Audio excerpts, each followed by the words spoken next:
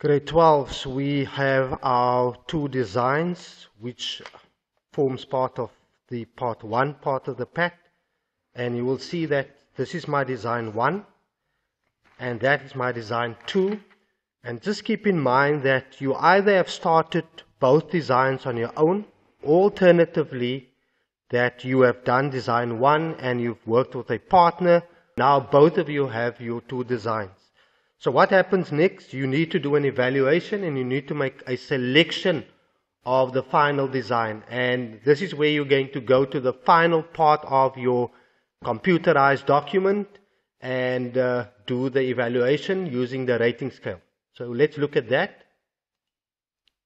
So we refer back to this document that you see on my screen, of which you have done most of the work already. You've gone through those um, initial pages of your index and as well as your declaration of authenticity.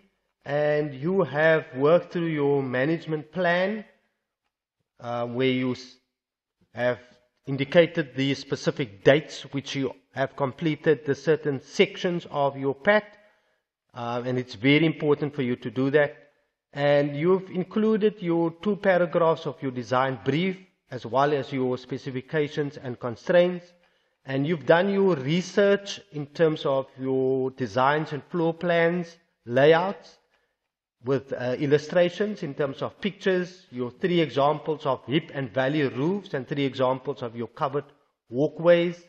And then you have your designs and construction and drawing detail of roll-up doors, as well as your references in your bibliography.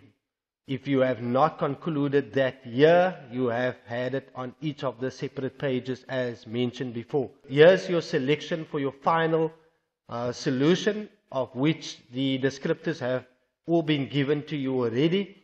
So that is your design one and this is your partner's design which serves as your design two. And you will use this rating scale here and you will place a recommendation from the rating scale in this block over here and you will probably centerize all of that in this document here.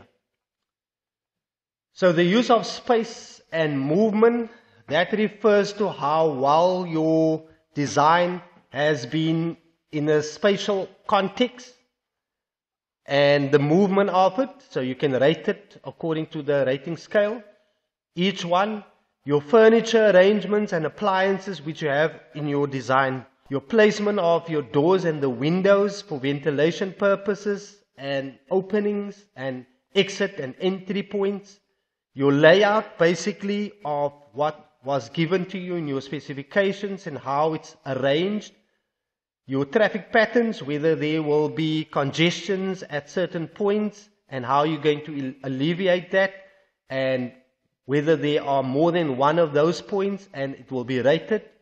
The size of the components or the rooms, um, like your library, whether it's cluttered, your storeroom, your kitchen, your pantry, etc., and those buildings within the main building itself, all of those will be rated according to this rating scale here, and of course you will have a total right here at the bottom and that total will give you indication. So for example, you will list in maybe a 4 there, and you will put in a 3 there, you will put in a 5, 5 here, and you will put in maybe a 3 there. And that's how you're going to score that with a tally of 11 and maybe a tally of 9 here. And that will guide you to which design you will take. And learners, here you will have to write a comprehensive summary giving reasons for the selected free freehand solution.